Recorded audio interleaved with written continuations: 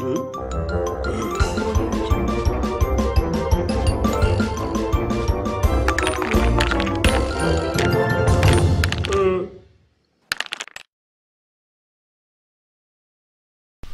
இருக்க எல்லா பொருளுமே சூப்பர் ஆஃபர்ல இருக்கு. லிங்க் கீழே இருக்க டிஸ்கிரிப்ஷன் பாக்ஸ்ல இருக்கு. மிஸ் பண்ணாம வாங்கி என்ஜாய் பண்ணுங்க.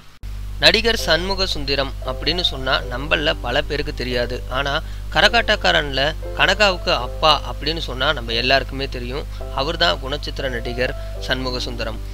ஆயிரத்தி தொள்ளாயிரத்தி நாற்பதுல சென்னையில் பிறந்தவர் தான் இந்த சண்முக சுந்தரம். ஆயிரத்தி தொள்ளாயிரத்தி அறுபதுகளில் படத்தில் நடிக்க உள்ளே வந்தார்.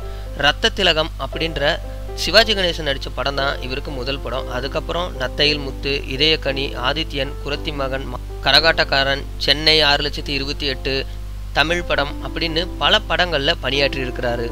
குறிப்பாக சொல்ல போகணுன்னா சிவாஜி கணேசன்லேருந்து எம்ஜிஆர் ரஜினிகாந்த் கமல் அப்படின்னு பல பிரபலங்களோட இணைந்து பணியாற்றியிருக்கிறாரு இவர் உடல்நலம் குறைவால் இப்போ சென்னையில் உயிரிழந்துட்டார். உயிரிழக்கும் போது இவரோட வயசு எழுபத்தி ஏழு. இயக்குனர் திலகம் கே எஸ் கோபாலகிருஷ்ணனோட பெரும்பாலான படங்களில் சண்முக சுந்தரம் முக்கிய வேஷத்தில் நடிச்சிருப்பாரு. இவரோட தங்கையோட பேர் தான் பழம்பெரும் நடிகை சந்திரகாந்தா. இவர் தமிழில் பல படங்களில் நடிச்சிருந்தாலும் கரகாட்டக்காரன் படம் தான் இவருக்கு மிகப்பெரிய பேரை எடுத்து கொடுத்துச்சு. இவர் நடித்த கடைசி படம் சிலம்பரசன் கூட அன்பானவன் அடங்காதவன் அசராதவன் அப்படின்ற படத்தில் தான் அதுலேயும் ஒரு முக்கியமான ரோலில் நடிச்சிருப்பார். வெள்ளித்திரை மட்டும் இல்லாமல் சின்ன திரையிலையும் இவர் நடிச்சிருக்காரு. அண்ணாமலை செல்வி அரசி வம்சம் அப்படின்ற பல தொடர்களில் சண்முக சுந்தரம் நடிச்சிருக்கிறாரு அப்படின்றது குறிப்பிடத்தக்கது. இவ்வளவு சிறப்பு மிக்க சண்முக சுந்தரம் நேற்று ஆகஸ்ட் பதினஞ்சாம் தேதி சென்னையில் உயிர் இழந்துட்டாரு. இவர் இறக்கும் பொழுது இவரோட வயசு எழுபத்தி ஏழு.